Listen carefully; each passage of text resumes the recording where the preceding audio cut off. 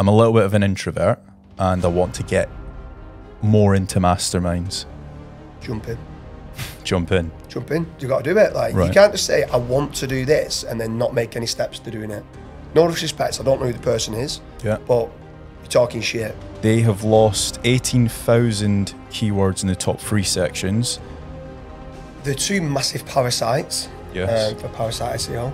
Uh, I think they've been manipulated big time. If you didn't have that data and you went on stage and the stuff you was talking about you didn't believe in and you couldn't defend yourself, I'd be worried for you.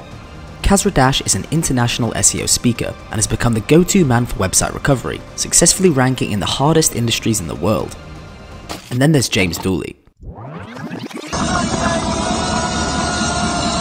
James ranks websites in the casino niche and has been credited for generating over 1 million leads for business owners in various niches. Together, they combine as the joint force of the DDD podcast, sharing business knowledge, personal growth techniques, and their general life experiences with the world.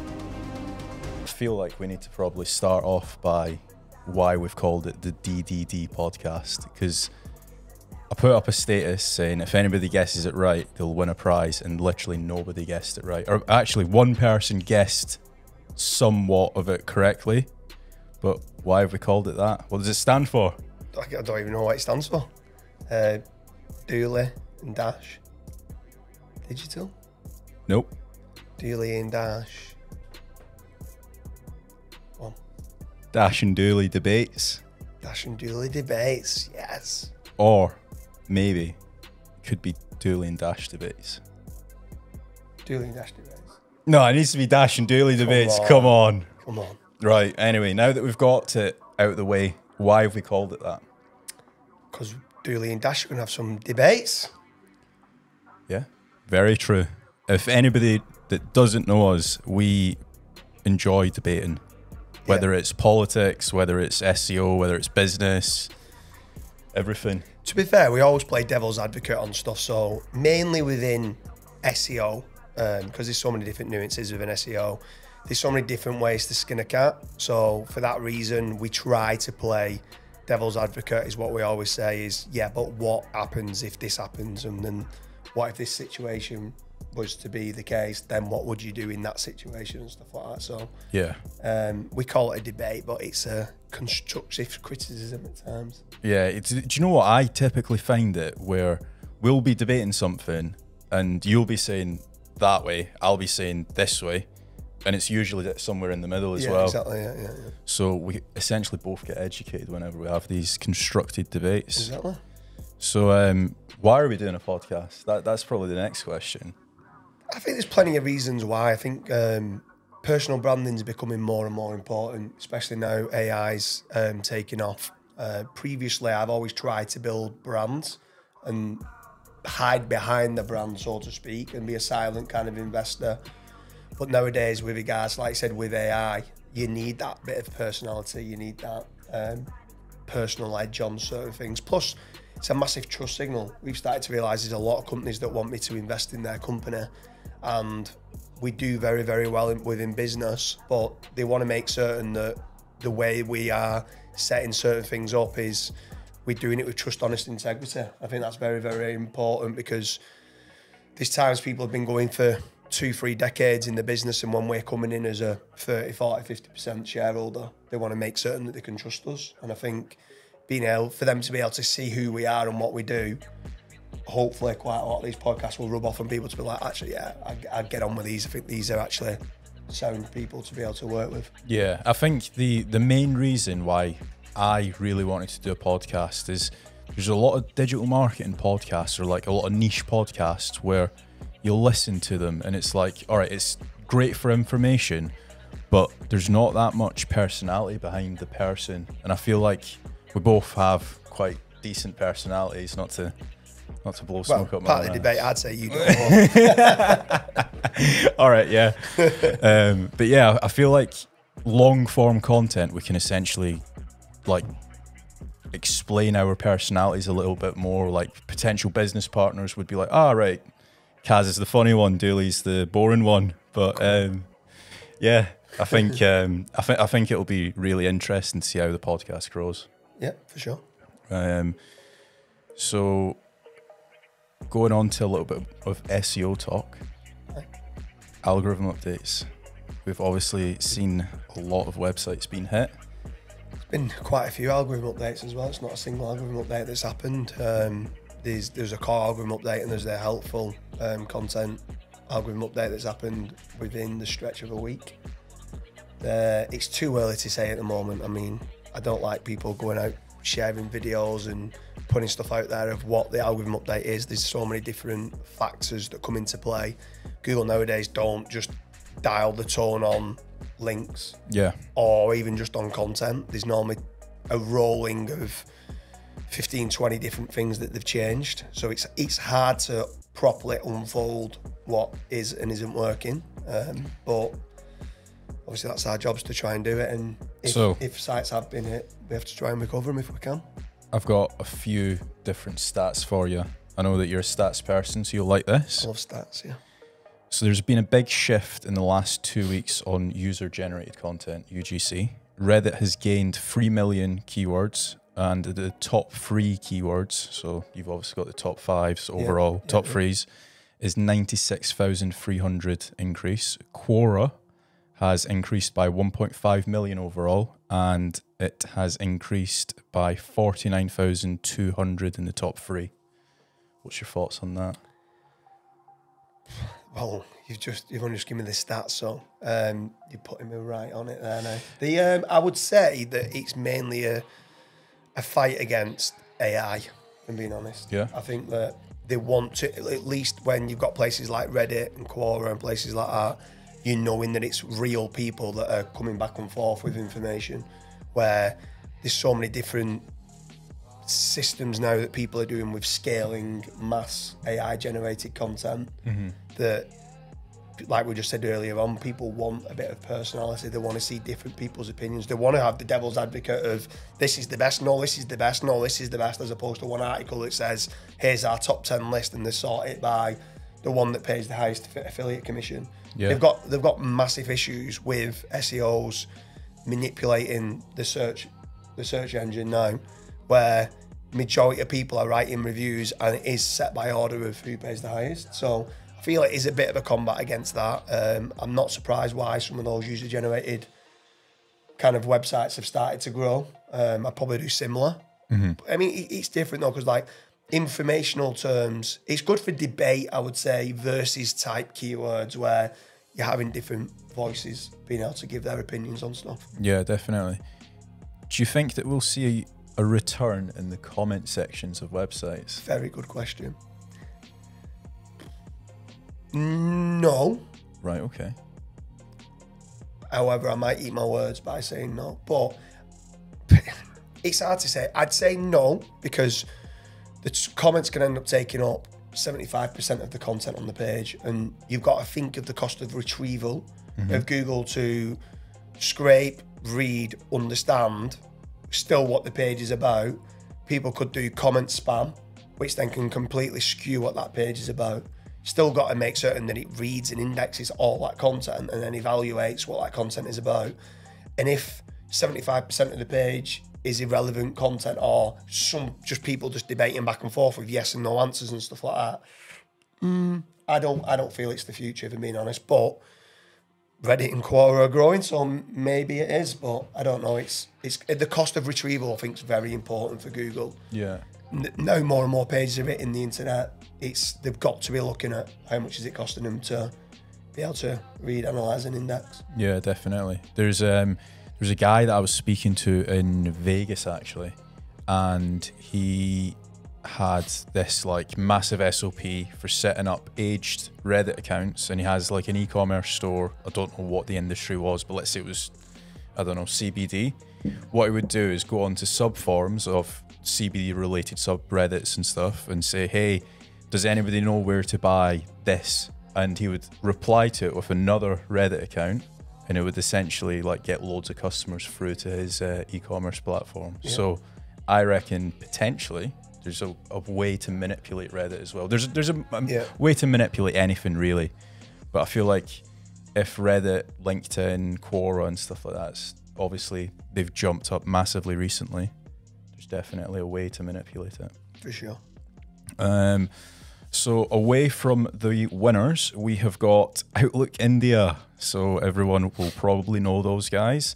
They have lost 18,000 keywords in the top three sections and an overall of 167,000 keywords from the SERP. News Direct, 21,000 in the top three section and over 300,000 keywords overall from the SERP. What do you think? The two massive parasites Yes. um, for parasite SEO.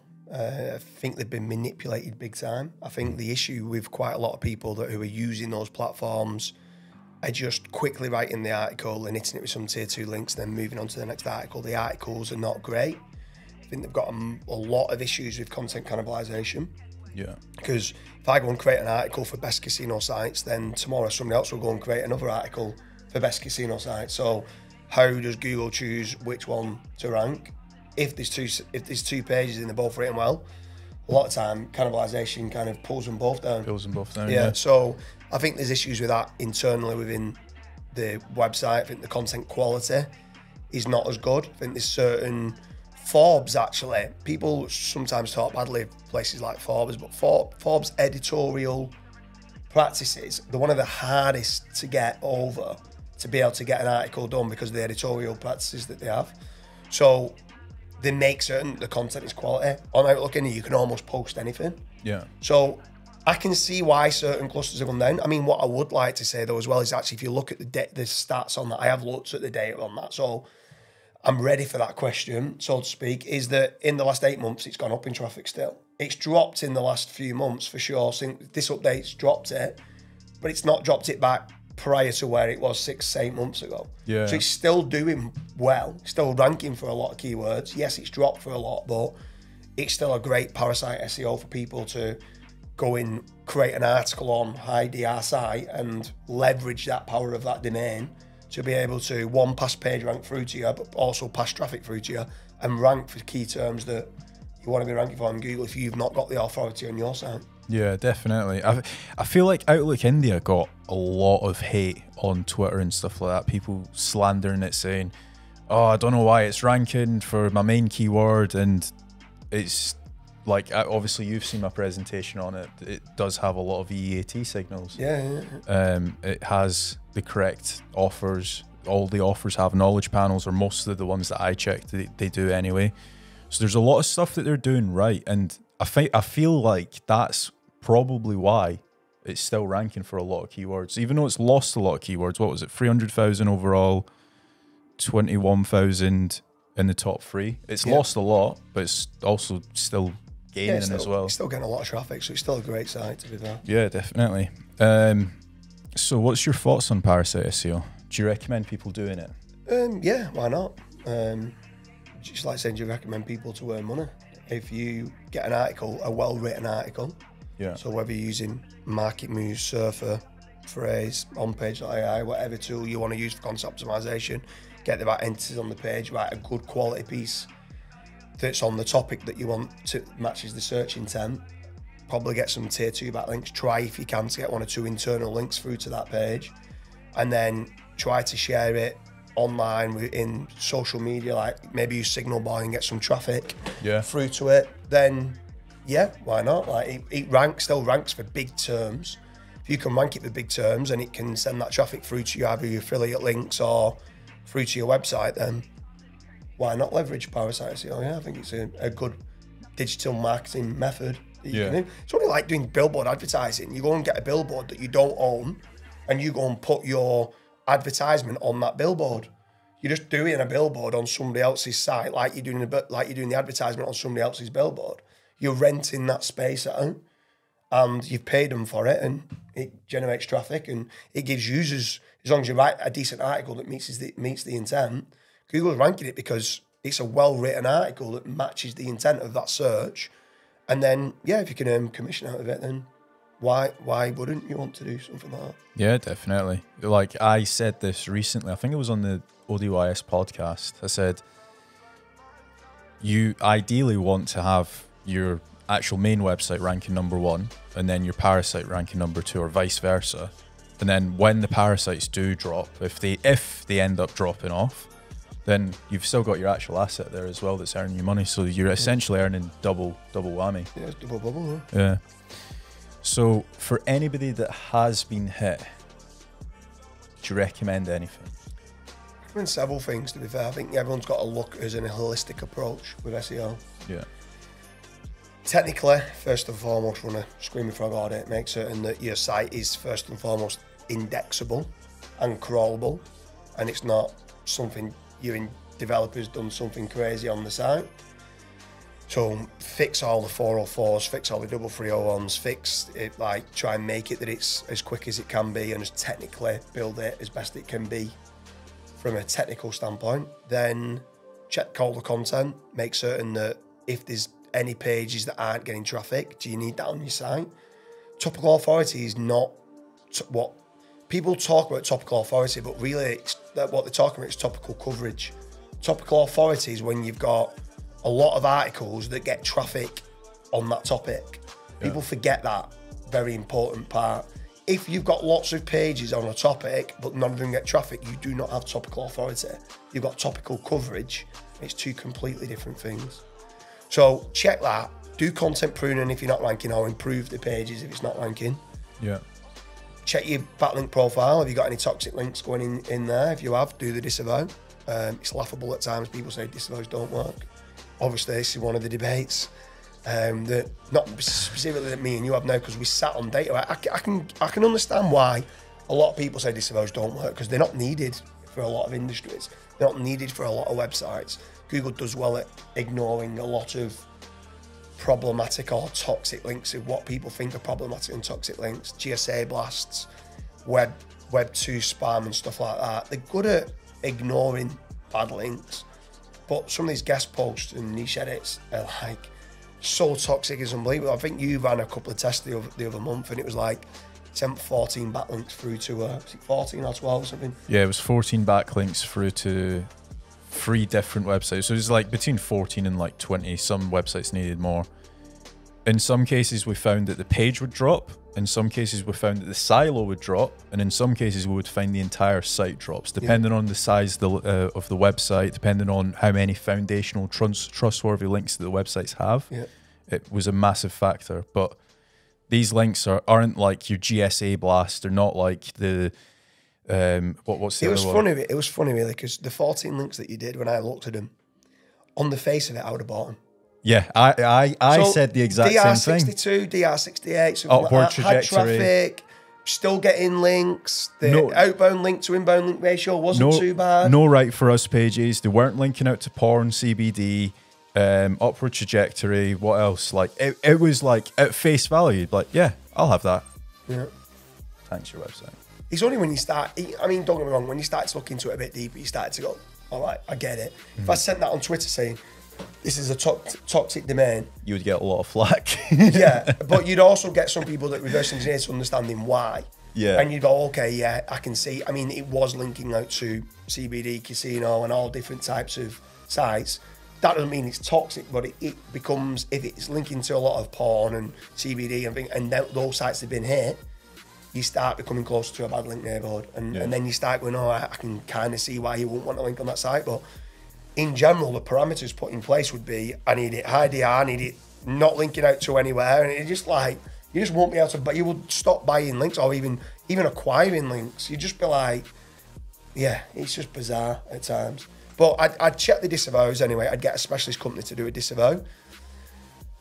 I'd do the content pruning. I'd check the technical side, um, and then I'd check any content apps. Yeah. Um, I'd check any pages. So there's a there's a great tool called SEOtesting.com. A guy called Nick Swan. Um, he's a very very cool guy. He's his tool is amazing where it allows you to do a lot of split tests. Um, you get your website, load it in, you look in the last seven days of the winners and the losers, whether it's for queries or for pages. And then you can start seeing what areas of the site have started to drop because it might only be a couple of pages that dropped and it looks like, oh my God, that site's been decimated and it's it's literally two pages that's dropped. Yeah. And you might look into it and go, okay, I can see now the intent, there's been a slight intent shift for these keywords. I might need to come like reword what's going on. So the um yeah, I'd, I'd check a lot of different things. I'd use SEO testing to check what's going on, and then I think that's the main parameters that I'd look at. Have you I got? think um, one thing that I would say is with the rise of ChatGPT, with the rise of all these mass AI writing tools, a lot of people are mass producing content and they're not going back in and re optimizing them. So, Yeah. like, the best running shoes 12 months ago ain't the best running shoes now. So, that's going to be become super important. I reckon the next AI SaaS, if anyone's listening, we will invest if you create this if you can create a tool that goes in and re-optimizes your content based off of what's missing on the page, looking at Google Search Console, that that's going to be an absolute killer. To be honest with you, you say that, and OnPage.ai and Surfer's doing it now. Are they? Yeah, Right. Okay. um, we've been testing it quite a bit actually. So Right. the um, how good it is, I don't know. It's still in with the R and D team, Right. but they've got it where they can set up and they can have it rewritten. So you, you give them the article, you give them the keyword, and they'll in there in your existing article they would rewrite it and work in the main entities that's missing off the page, and work it in. What it wouldn't do is add extra H twos that might be missing. Right. Okay. So what you probably want to do is get your editor to go in, add one or two H2s or questions that might be missing for that intent, but then go and load it into Surfer or on page. Those two tools are amazing. Like they um they're so good for obviously extracting NLP entities that needs to be on the page. yeah. So, but yeah, I, I, it's with R and D testing, so I don't know how good it is at the moment, but we'll get the feedback. Yeah. Maybe And- Michal or Lucjan, if you're listening, or Eric, we want to invest. yes, get us on that investor board. Right. So, on other new news, Craig Campbell has launched his new marketplace. So, a few facts about it. It's called onlinebusinessflippers.com if anyone wants to check out. It's actually a really nice looking website as well. I was quickly looking at it a few days ago. Um, so, here's some stats on it 15% of anything less than 100k that's what they take. Anything more than 100k, they take 10%. Listings are being vetted, every single one, um, and they are also free to get listed as well. So, obviously, you list your website if you are wanting to sell your website, and they will vet it before it goes out to the marketplace. And they are focusing on smaller websites as well, which is quite interesting.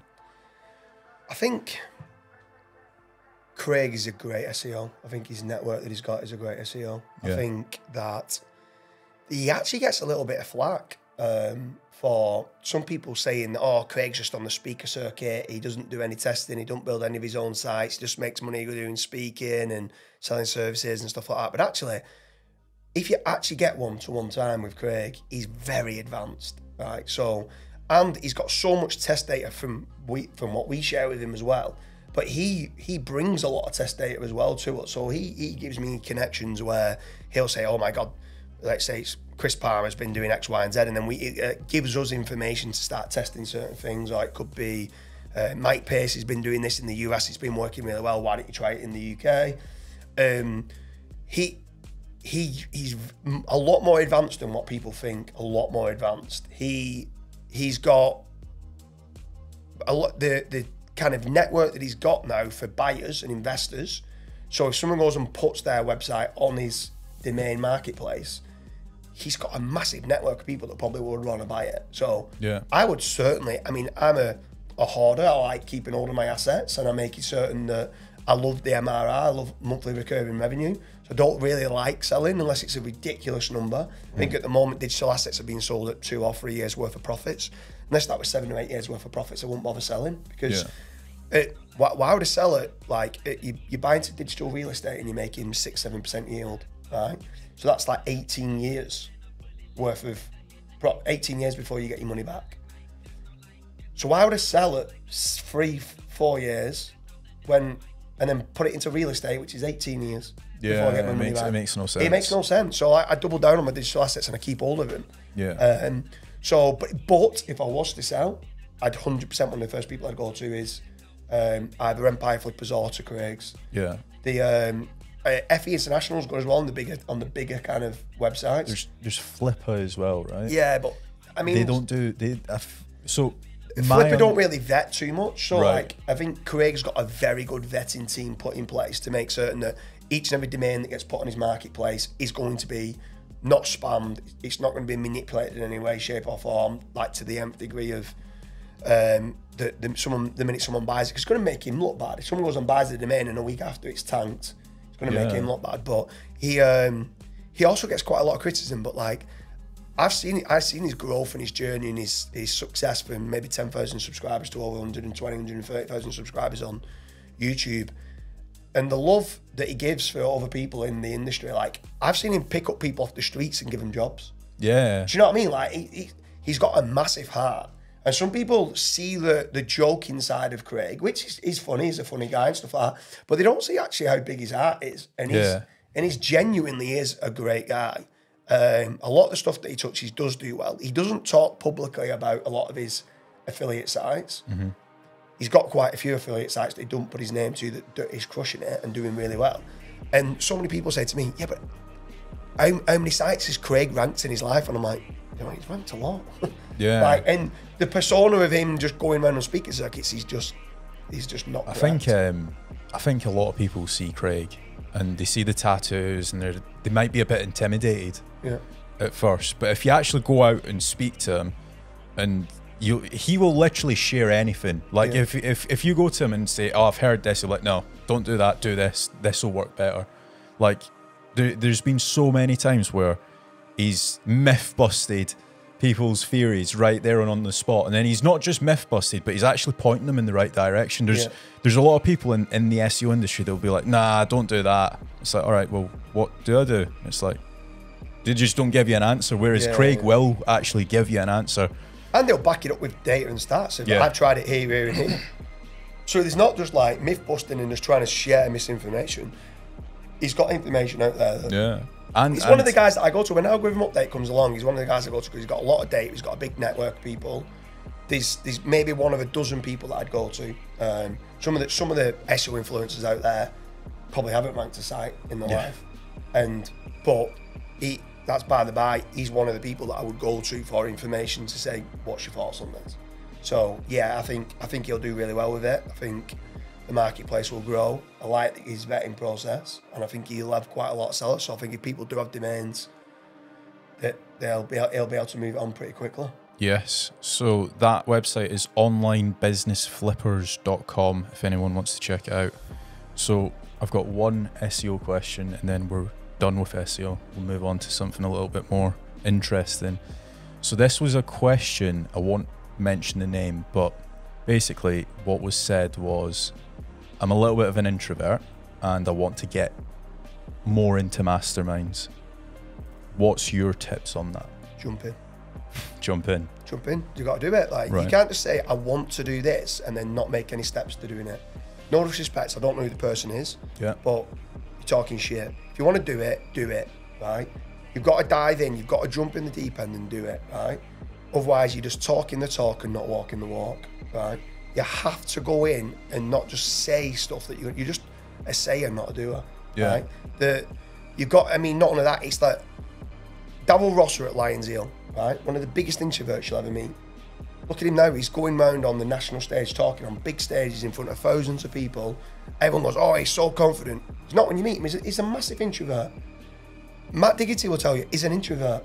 At his core, he's an introvert. Hmm. Look at him on stage. He looks like an absolute monster. He's like, "I know this," and he's dead confident in his persona. How? Because he's worked really, really, really hard at doing it. You speak to Davil Rosso about how he did it. He just threw himself in and kept doing it. And you just got to keep doing it, keep doing it, keep doing it, and you become more confident. And the more confident you become, like even just go to, I would say, go to a local meetup. When you go to a local meetup, go back to it. Go to a different meetup. Just keep going to the meetups until you're confident enough to go into a mastermind. You, you don't need to go into, you won't even get invited to a high level mastermind to start with unless you know what you're talking about. Yeah, So like, yeah. yeah, you can't be a leech and just go in and sit there and say nothing. Mm-hmm. A mastermind's all about give and take. You've got to provide value, otherwise you won't get invited again. So if you really, really, really want to do it and you're an introvert, you've got to work on your weakness, which is being an introvert, and get out there and speak to people and do it. Like there's no other way. There's no books, there's no nothing else. You, can, you just got to physically go and do it. Yeah, Uh, yeah, hundred percent. I, I agree. Like, there's, I feel like the SEO industry is a bit weird at times because there are a lot of people that are a little bit introverted, and it, you just need to essentially what you said, throw yourself in the deep end, and just take the bull by its horns. Really, Yeah. like for for example, the first time I ever met you, I was pretty introverted. Whereas if you see me now at a, a conference or at a mastermind, I'm the guy that's going round asking everyone like, "Oh, how you doing? Not seen you for two weeks." Like, so yeah, None of that. I think it's confidence. I think a lot of it comes down to confidence. Like, and not none of that is actually you've still got to understand to know what you're talking about. So if you're going into a mastermind about advanced SEO strategies and you're not an advanced SEO, that's not a good idea. So when I say jump jump in and you Find let's your say, level. find your level, right? But if you're going to try to apply for Chiang Mai SEO mastermind, you're not getting in. Mm-hmm. So I run I run the groups for the Chiang Mai Mastermind, right? I sit down with Matt. We've got 500 applications. So unless you unless we know that you're going to provide value, why are we going to let you into that mastermind? So many people are kicking off. Oh, why am I? It's all it's people for the jobs and all. And just like, no, mate. It's just like you've got to be, be. We've got to make certain that the other people in this group, in the groups that we're providing, are going to get value from you being in there. Not you're just going to sit there for a full day and listen to everyone and not provide value back. That's not what a mastermind's about. Yeah. It's about leveling up and everyone being elevated.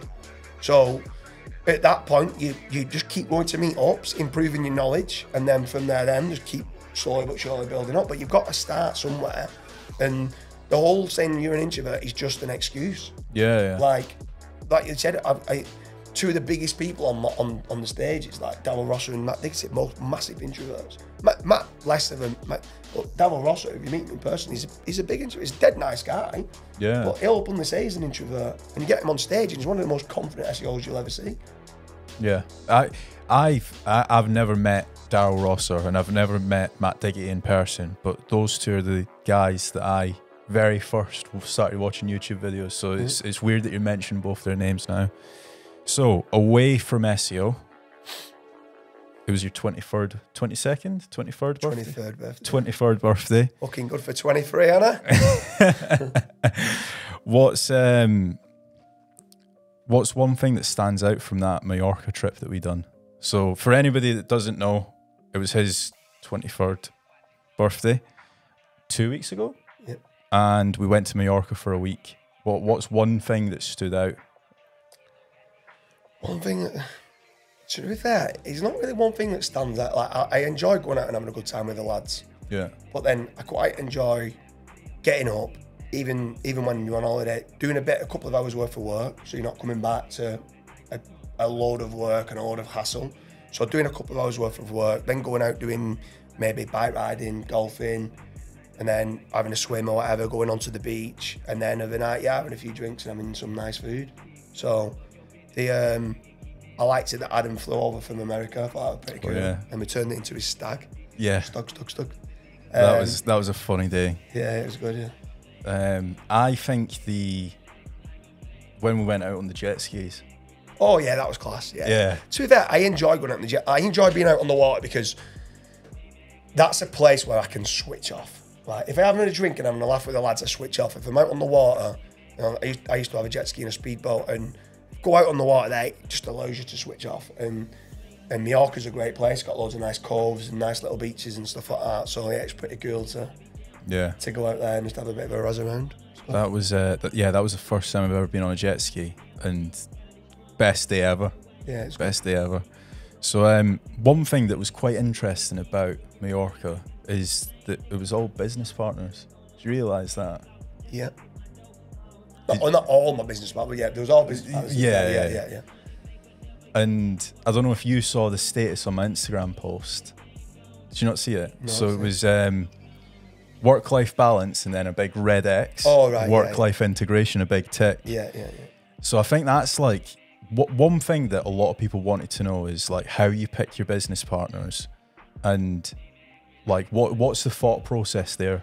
So do you know what? Like, when I'm in a lot of the masterminds, people don't really ask me any questions about SEO. Believe it or not, like it's mainly about business and mindset. Yeah. And two of the biggest questions that I get asked is about how do, how do you enjoy the journey, when it's a struggle with regards to the amount of work working hours that you need to put in. And then how do I choose my business partners? And I'm like, because it's all merged into one. And they're like, oh, I don't know what you mean. I don't know what you mean. I'm like, people see this um, idea of having a work-life balance, but in our industry, it's different for certain industries. You can't do it in certain industries, right? But in our industry, within the SEO industry, you can have the laptop lifestyle. So as long as you've got a laptop and you've got a Wi-Fi connection, you can work anywhere in the world, right? And you can choose who you work with, right? So there's that much, like the growth of SEO is incredible and digital assets and the internet is ridiculous growth. So the amount of work that there is out there, it's not like you're just fixed into a, a warehouse and you've got to work nine till five. At that point, I get a work-life balance finish at five o'clock, go home, see the family, go and do some nice things, go out with a weekend with the lads, go on holiday a couple of times a year. That's fine. But with SEO, the work life integration is choosing your partners, your business partners, that you'll enjoy the journey with. Yeah. So that means that you enjoy work. I, I actually get up. Some, I've said this to you before. Someone said a billion pound, never working another day in your life. I'd say, no chance. I'm not signing it. I'm not doing it. I do enjoy it. There's times, don't get me wrong, there's times, it, I'm not saying, I've never used the word stressful, but like, it's times it can be difficult in certain situations. An algorithm update comes and the site drops slightly and you've got to try and uncover it. But then on the next breath is, it's a challenge. So it's enjoyable. So you're like, yes. Yeah. What's yeah, this yeah. problem? Right, okay. But you've got to train the brain. Otherwise, your brain can you be a bitch. Hmm. You've got to train your brain to embrace criticism, embrace failure, and when something happens that goes bad, that you just go, I'm going to turn this into a positive.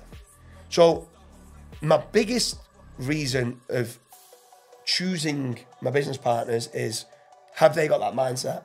Are they able to embrace failure, embrace criticism, get himself out the comfort zone, but also enjoy himself? Because don't enjoy himself, they're now going to be a burden on me. Mm-hmm. They're going to be that. They're going to be ringing me up, moaning, like. And if I'm spending a lot of time with them, they're going to bring me down. I don't want Yeah. people that are going to bring me down. So don't get me wrong, they still need to have some something. They've got to bring something to the table from not saying intelligence, but like some angle that they're going to bring to the table that might be a bit of a weakness of mine. So they might be good at technical, or if it's let's say they've got a team for link building, or they've got a, an established business already, and I just need to leverage that business, and I'll help them with quality control to improve what they've got within the business.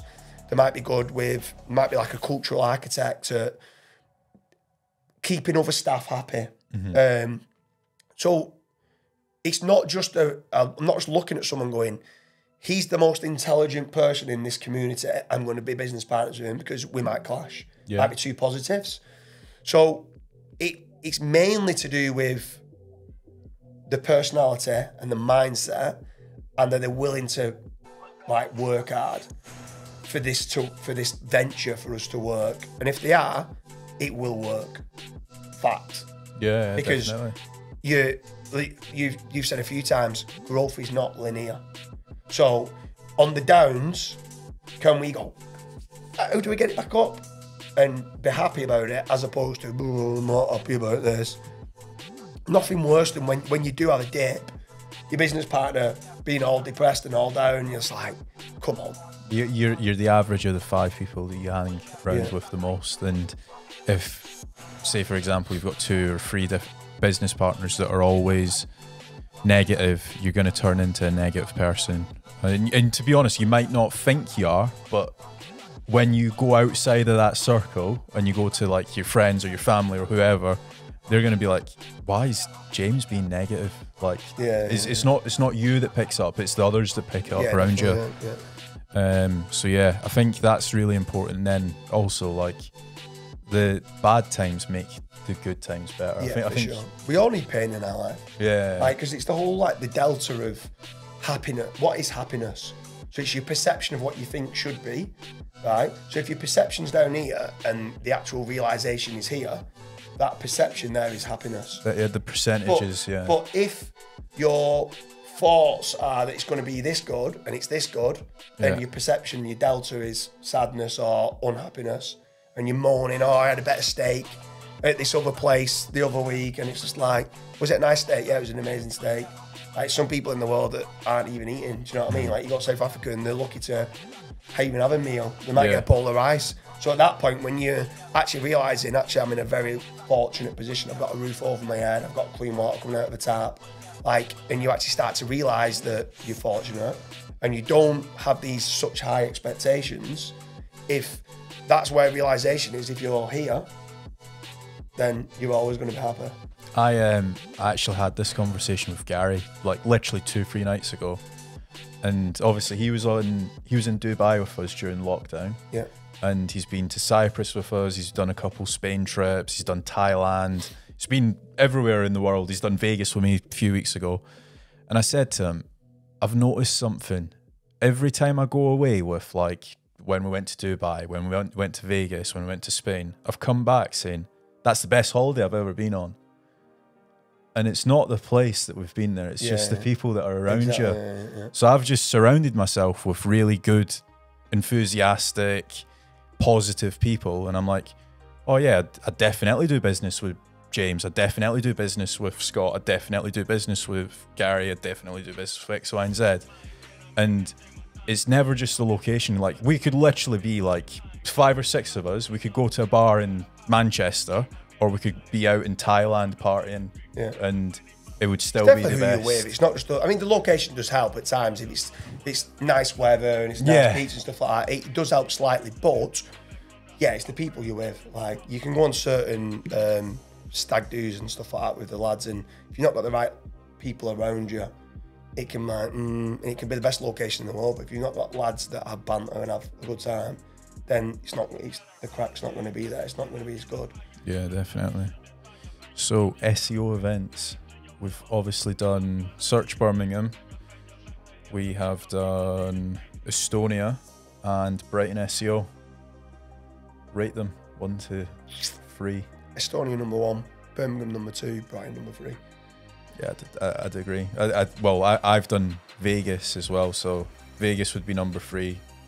Um, Vegas would be number two actually. So Estonia, Vegas, Search Birmingham, and then Brighton SEO. Yeah.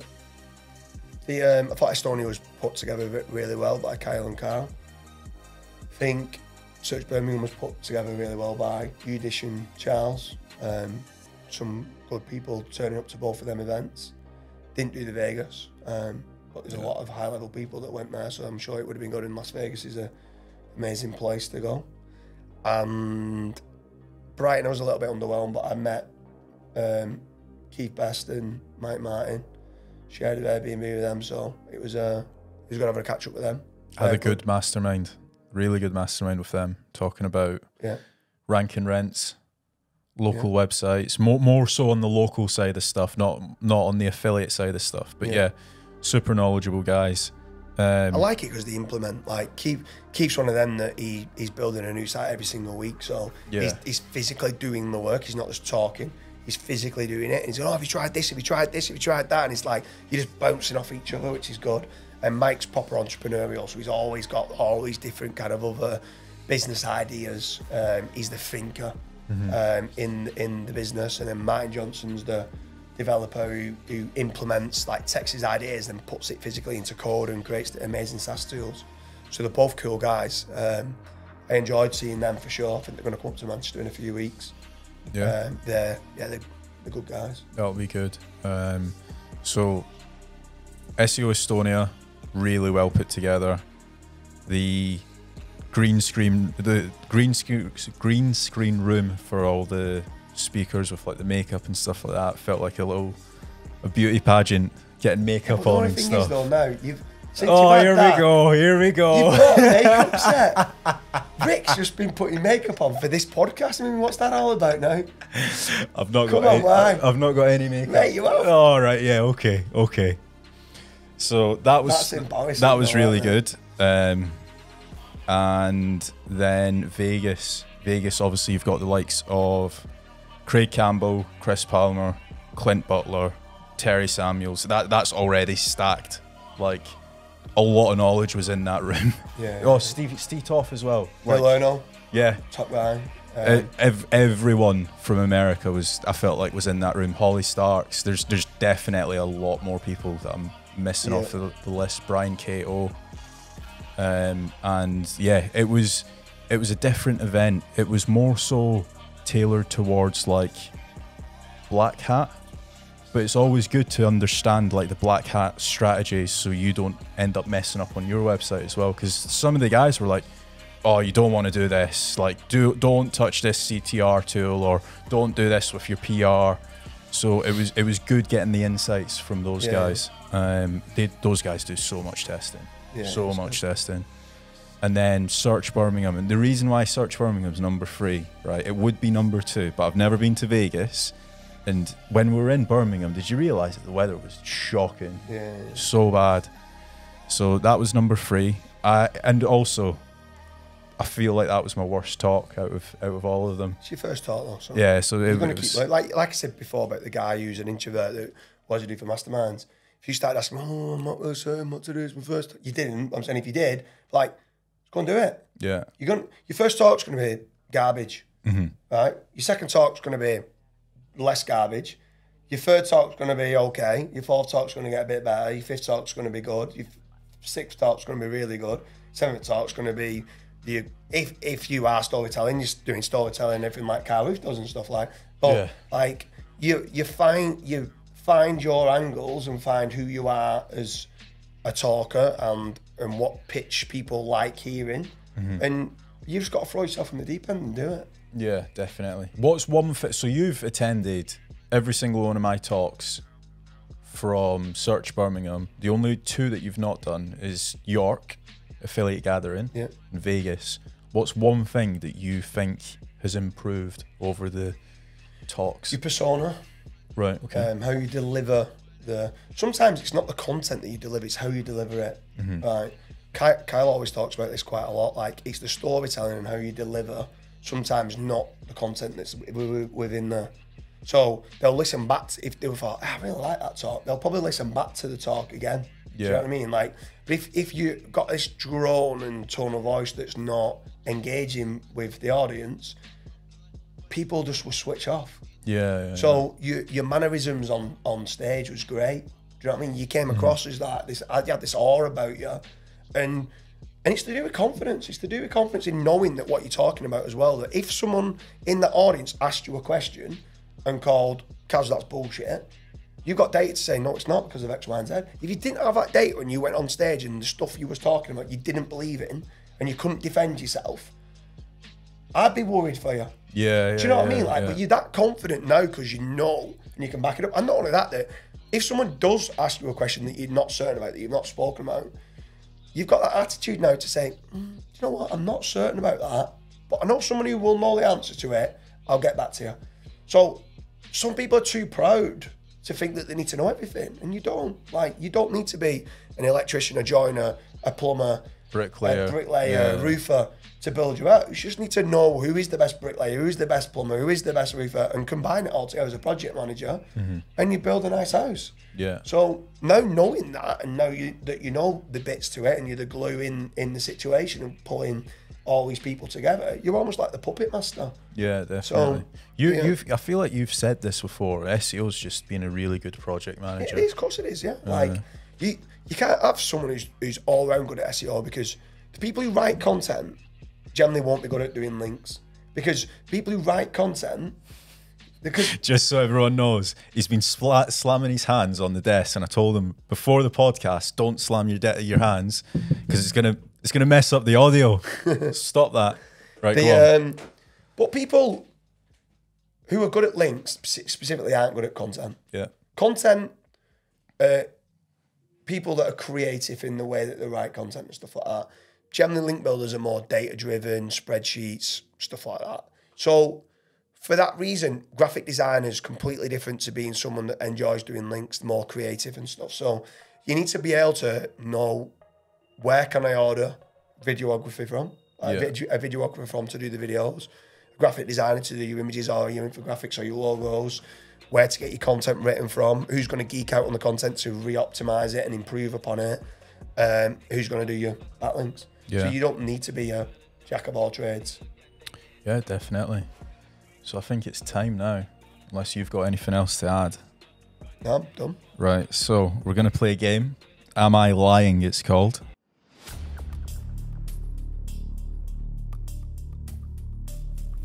So the rules of this game is I have got four slips.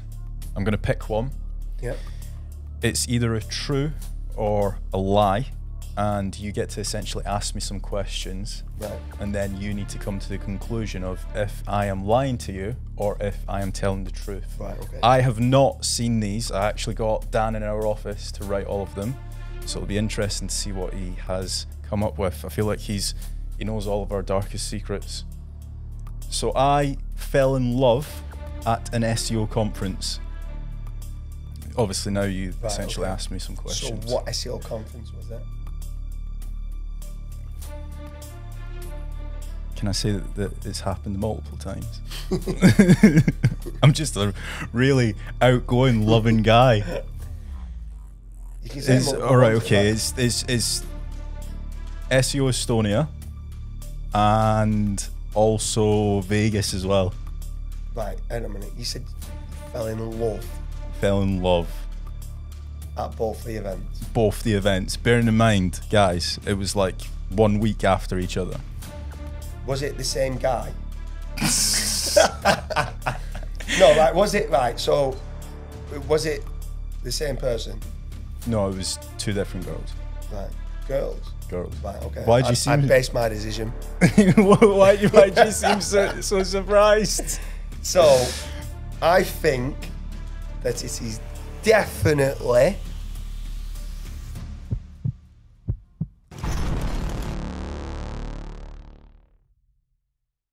So, welcome to the first episode of the DDD podcast.